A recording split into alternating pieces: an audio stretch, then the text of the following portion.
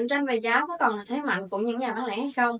À, đối với cái tình trạng hiện tại á, thì chúng ta có thể thấy rằng là có rất là nhiều những cái nhà cung cấp, những cái nhà sản xuất lớn họ bước vào cái thị trường bán lẻ luôn. Họ là người trực tiếp bán hàng ra luôn, họ không còn đứng ở cái vị trí là nhà cung cấp nữa.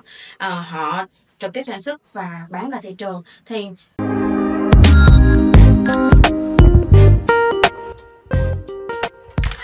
mà những cái điều này nó xảy ra quá nhiều á, thì nó sẽ làm cho những cái nhà bán lẻ họ trở nên mất vị thế, họ trở nên bị lung lay và lo lắng nhiều. Lo lắng ở đây là lo lắng về sự cạnh tranh giá cả, đúng không? Tại vì khi mà cái nhà cung cấp á, họ sản xuất trực tiếp, họ đem ra họ bán luôn thì chắc chắn là họ sẽ có được cái mức giá nó tốt hơn so với những cái nhà bán lẻ rồi. Đó đó là điều hiển nhiên rồi, đúng không? Và ừ, khi mà cạnh tranh không lại về giá thì sẽ khiến cho cái việc bán hàng trở nên khó khăn. Doanh số giảm đi rất là nhiều và cái việc tiếp cận khách hàng nó nó càng khó khăn hơn. Hơn và hơn hết nữa là à, khi đã không mạnh về tài chính khi đã không mạnh về đồng vốn rồi á, thì nó kéo theo rất là nhiều vấn đề. Và một cái vấn đề nữa một cái nỗi đau nữa đó chính là không đủ điều kiện tài chính để có thể làm quảng cáo.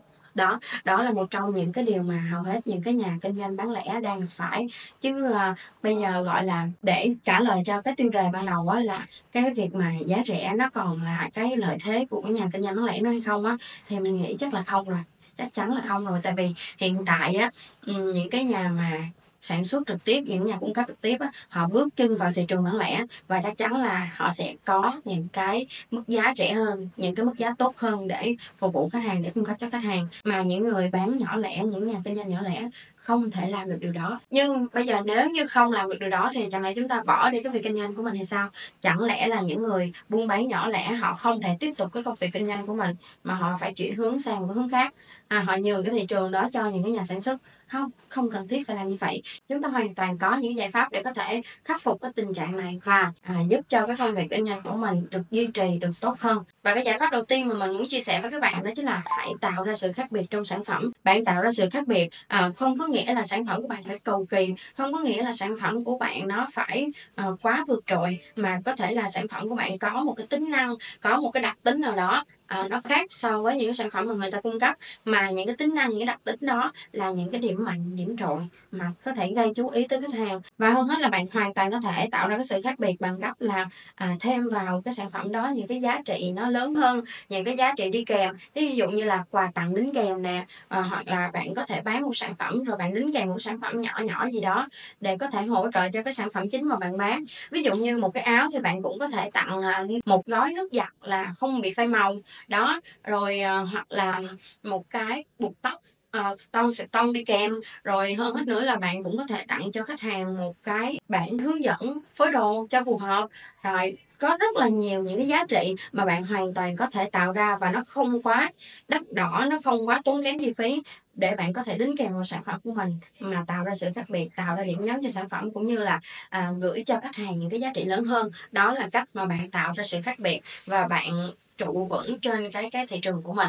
À các bạn có thể áp dụng cái cách này ngay và luôn. Nếu như mà bạn nào thật sự chưa gặp phải cái sự khó khăn trong cái việc kinh doanh của mình á, thì mình nghĩ là bạn nghe được video này bạn biết được cái giải pháp đầu tiên này thì bạn cũng nên áp dụng nha. Tại vì hầu hết trong tất cả những cái vấn đề à, khiến chúng ta kinh doanh khó khăn hơn á hầu hết là nó sẽ thường tập trung vào cái việc sản phẩm. Và cái sản phẩm của bạn nó phải thực sự đặc biệt nó phải thực sự vượt trội thì bạn mới có thể có cái sức cạnh tranh cao. Giải pháp thứ hai là bạn có thể áp dụng những cái hình thức để có thể tiết kiệm và tối ưu chi phí sản xuất. Tại vì khi mà bạn áp dụng những cái hình thức đó bạn tiết kiệm và tối ưu chi phí sản xuất đó, thì bạn sẽ tiết kiệm được một cái khoản chi phí kha khá và trên cái khoản chi phí này nó sẽ hỗ trợ cho bạn à, giảm đi cái giá vốn của sản phẩm và từ đó bạn có thể đưa ra một cái mức giá nó tốt hơn một xíu để cạnh tranh với những cái nhà cung cấp khác. Hoặc là bạn có thể ứng dụng để à, tạo nên vui trời cho khách hàng tạo nên những cái chương trình khuyến mãi. Đó đó là một trong những cái giải pháp mà bạn vừa thu hút được khách hàng mà vừa giải quyết được cái bài toán về tài chính. Nó không làm cho à, những cái phần lợi nhuận hay là những cái khoản chi khác nó bị thâm hụt pháp. Nó là một trong những cái giải pháp mình thấy là nó cũng rất là hiệu quả ha. Và cái giải pháp cuối cùng đó là tận dụng tối đa những cái kênh thương mại điện tử những cái kênh mạng xã hội. Tại vì hiện tại á, à, công nghệ nó chiếm một phần lớn trong cái đời sống của tất cả mọi người. Và khi mà chúng ta bán hàng á thì cái việc chúng ta cần làm đó chính là marketing và quảng bá sản phẩm.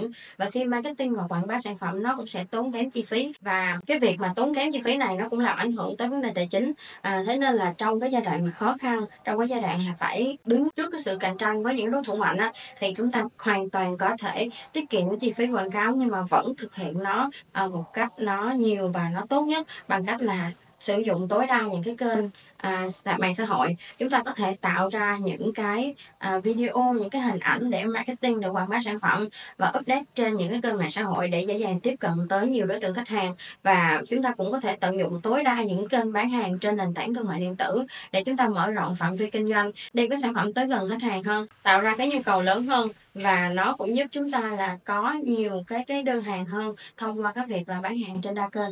Đó, các bạn hoàn toàn có thể áp dụng ba cái giải pháp này để khắc phục, ừ, tốt hơn cái tình trạng mà mình vừa chia sẻ, à, và nó sẽ giúp cho bạn giảm đi cái áp lực, à, từ cái việc là phải cạnh tranh với những cái cửa hàng, những cái thương hiệu lớn. Rồi, à, nó sẽ giúp cho bạn bán hàng tốt hơn, nó sẽ giúp cho bạn tăng doanh số mà các bạn sẽ không ngờ đến. Hy vọng là các bạn sẽ ứng dụng tốt để có thể cải thiện tình trạng kinh doanh của mình nha. Và bên dưới phần mô tả mình có đính kèm cái link 500 nguồn hàng uy tín chất lượng, à, mình tổng hợp lại và gửi tặng các bạn hoàn toàn miễn phí, nên cứ click và share và ủng hộ mình nha. Còn nếu thấy video hay thì hãy nhấn like, đăng ký kênh và chia sẻ video nhiều hơn nữa cho mình để mình có động lực làm tiếp những video sau. Chúc mừng tất cả các bạn đã xem hết video cùng với Hà Phương. Để không bỏ lỡ những video tiếp theo, hãy bấm vào nút đăng ký hình tròn ở giữa màn hình hoặc có thể xem các video tiếp theo ở bên tay trái hoặc bên tay phải.